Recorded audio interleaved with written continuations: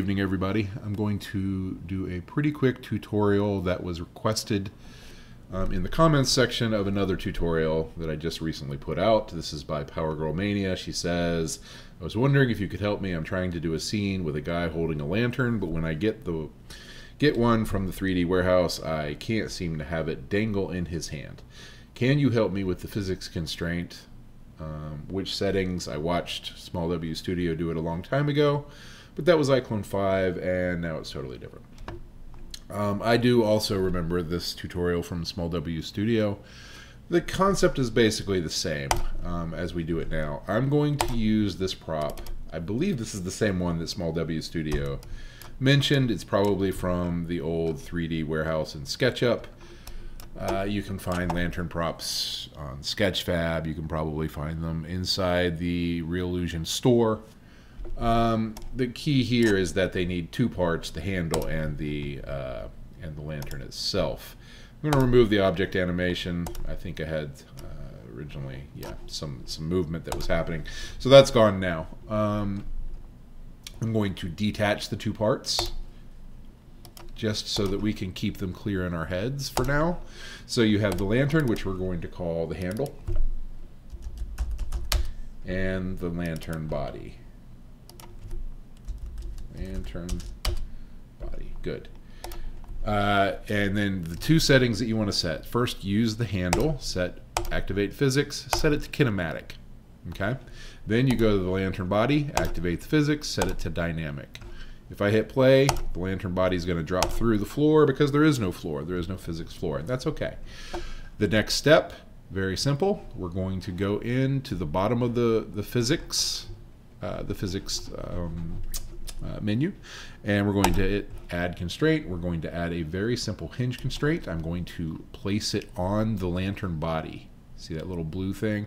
Now it's trying to put it in all sorts of wonky positions. We're just going to add it in there and then I'm going to come over and I'm going to set all the rotation values to zero. And then we will see, okay. Now it's positioned in a way, we're going to want the, the lantern to swing like this, right? And so I'm going to need to move the hinge. Uh, let's take a look we're going to need to move the, in this case, the, the Z value change. We're going to set it to 90. And then we're going to position it so that it's right where the handle um, rotates. So doing a just basic guess, we'll put it right here.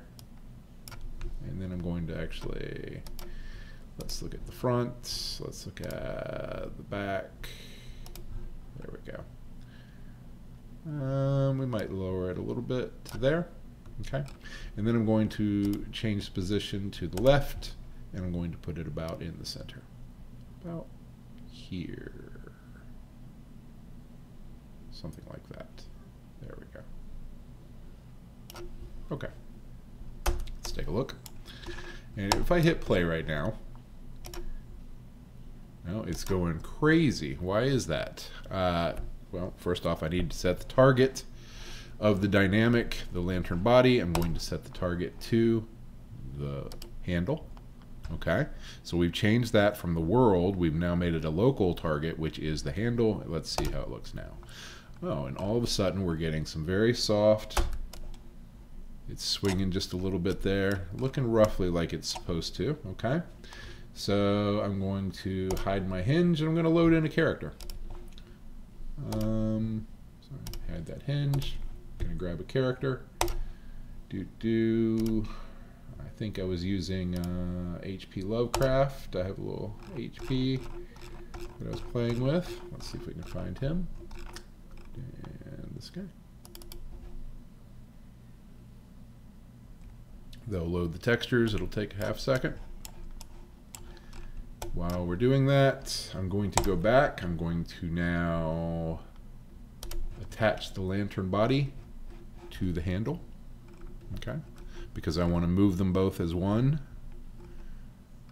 uh, when we're not um, playing. Sorry, give me half a second. Lantern body attached to the handle. Okay, then I'm going to grab the lantern and I'm going to position it in our HP Lovecraft in his hand. Now, because it's physics and because your characters have um, what's called there we go uh, collision shapes, it would go crazy uh, right here because it would be bouncing on the collision shape. So what we're going to do, first off, remember this part. I said if you attach it, it gave problems. So remember, let's link it. We're going to link, we'll call this lantern handle.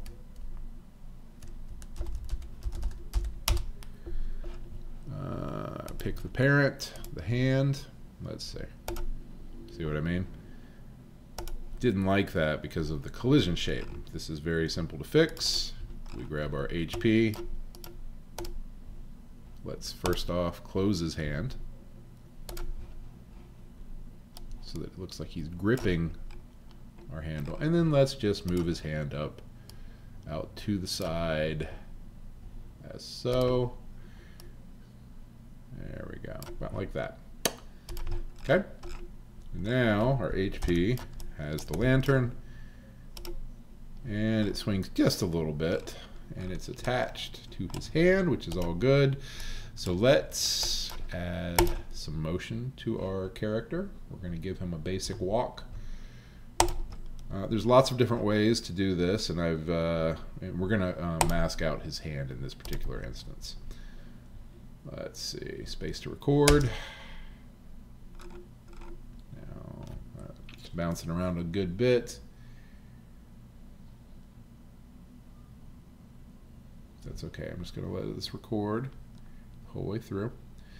And there's a couple of options that we could do here. We can change the rotation of the hand so that the swinging is going back and forth instead of side to side where it's hitting his leg a lot. Let's let it finish. There we go And give it half second while it finishes. There we go. So like I said, we could simply change the rotation of the hand to like this. Now let's see what that looks like. Alright, that's not bad. It's swinging a fair amount, and one of the things that you could do is limit, put some limits on that hinge constraint. There's some other things. Let's go back, take a look. Here's the hinge. We go into there. Currently, it's set with a limit of negative 90 and 90. Maybe we want to set it to negative 30 degrees and 30 degrees, which would limit that a good bit. So if it hits that limit, it'll it'll stop the swinging. Let's say. See it there? See how it, it's it's hitting that limit, keeping it a little bit further down there.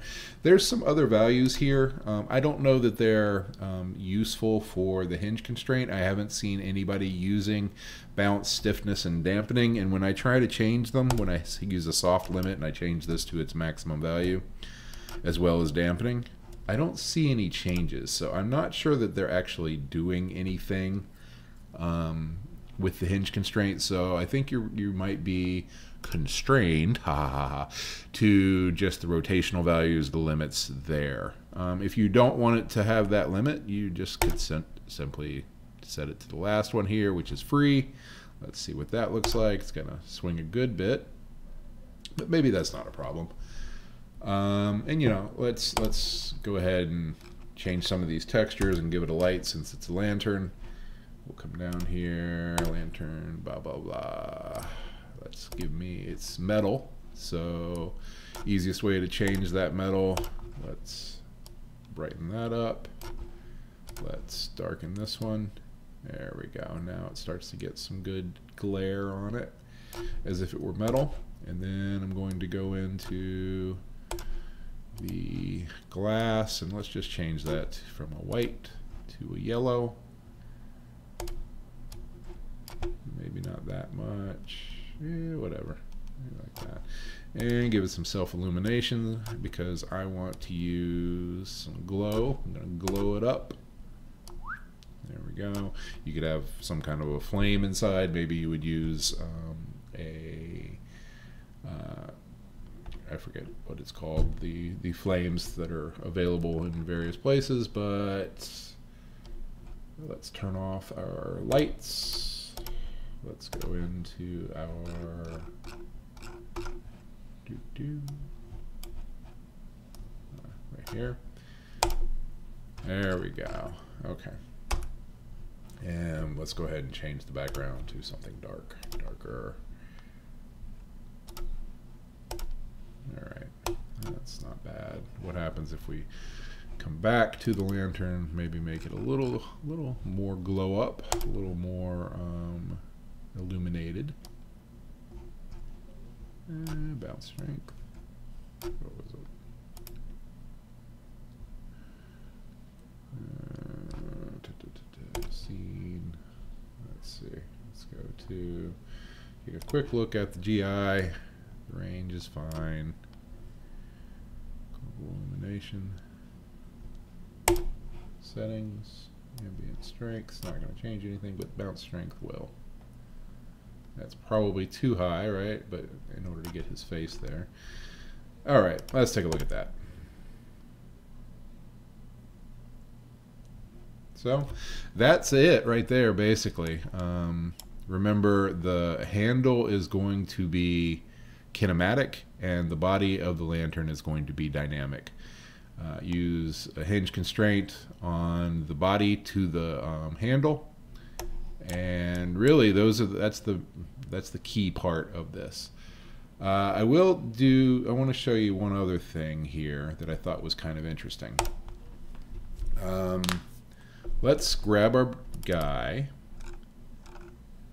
and let's duplicate him. Pull him over here. And then let's grab our lantern scene and let's pull it over, duplicating it. Give this guy. Now, one thing I was thinking about is what if both the handle and the lantern itself were able to swing? Because think about when you're holding um, something, the lantern for instance, it would generally swing in your hand a little bit. And to do that, what you'd have to do is have both the lantern be dynamic, the handle be dynamic, and then you would put some kind of prop in the guy's hand which would be kinematic. So I'm going to just very quickly show you what I'm talking about, and then we can compare the two and see what you think. Um, let's grab a prop, uh, template, props, sure, whatever. We can use a ball, uh, shrink it down, and let's put that in his hand. A little hard to see. Let's go ahead and turn on our, um, there we go. Auxiliary lights for the moment. Come in here. I want to put it right in the ball of his hand. That's fine. Now, I set this prop, activate the physics, turn it on to kinematic, and then attach it. Well, remember, let's not attach, let's link to his hand. So now he has a kinematic prop on his hand. Let's go back into our lantern. And the lantern body is dynamic. Let's look at it. it has a hinge that goes uh, to the handle. The handle is kinematic. Let's change that to dynamic. Okay? And then let's add a constraint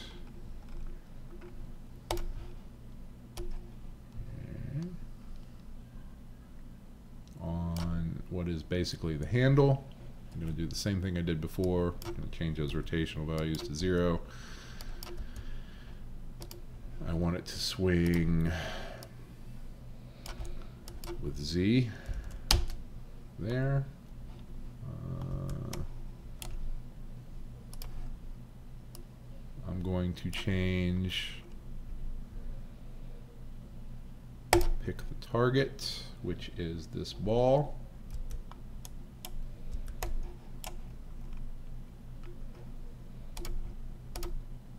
Okay. Let's see. Did I get this to work? Yes, I did. Now you can see it swings a lot more. Um, and maybe that's not what you want, but I thought that was kind of interesting. Um, let's get rid of this auxiliary light. There we go. Let's turn that down. It's, I think my GI settings are a wee bit too high. Uh, content, visual, close this. And shadow details, shadow bias, interesting.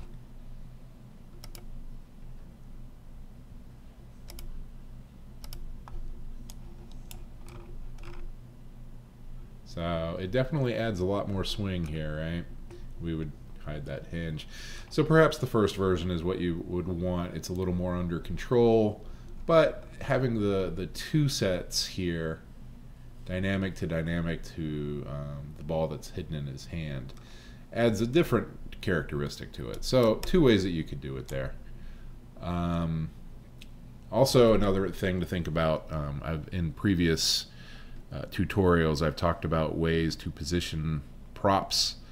So what you could do is you could put the lantern, um, attach it actually not to, or link it not to his hand, but to something like his spine or his hip, or even the root, and then use the um, uh, the reach target on his hand to that link, which would give it a different kind of vibe. Um, something that I explored in a previous tutorial about holding a tray um, you can look that up. So other ways, there's some other things that we could do with this, but I just thought I'd throw two things together. The basic key, again, one more time, is you use on the body of the lantern dynamics physics. On the, the handle of the lantern, you use kinematic physics. The hinge prop connects the body to the handle, and then you link the um, you link the main prop to the character's hand. All right. So that's going to do it. Uh, hopefully that's helpful. Um, have fun. Happy filming. And good luck.